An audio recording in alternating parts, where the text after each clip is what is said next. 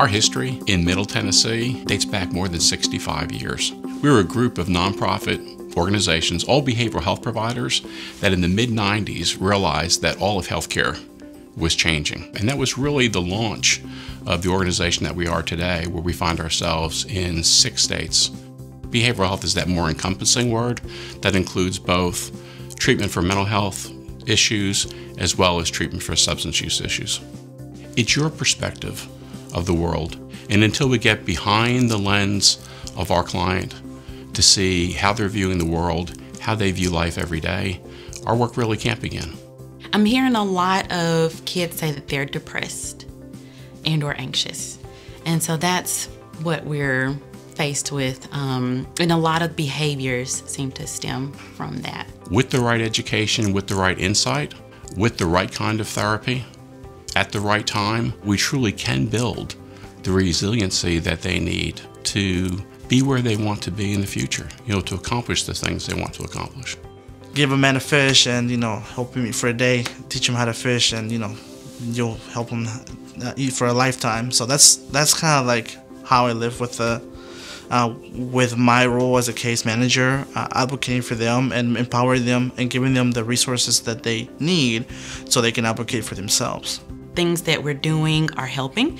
At school, I'm able to talk with teachers, I'm able to work with the parents, I'm able to get in there. And a lot of times when you're in the clinic, you may not be able to talk to teachers as easily. So you really don't get um, a feel for what's going on with the client. Parents who are willing to work through the issues, willing to talk with their kids, willing to try the different strategies, they are more successful. I have yet to meet the individual who hasn't been impacted personally by either substance abuse or mental health. Seeking help for a mental health issue or addiction disorder is one of the hardest things that people come to in their life. But our work is most blessed by people spreading the word about the effectiveness of behavioral health care and helping us lower the barriers that prevent people from getting the care that they need. Yesterday, it was a call from an executive in Nashville who was reaching out on behalf of his 15 year old daughter because she revealed to her mom and dad the day before that she has a severe eating disorder. I was also so privileged to hear from a Metro police officer who I had not heard from in 20 years that that was the anniversary of his sobriety. And he was just calling to reach out to say thanks for changing the rest of my life.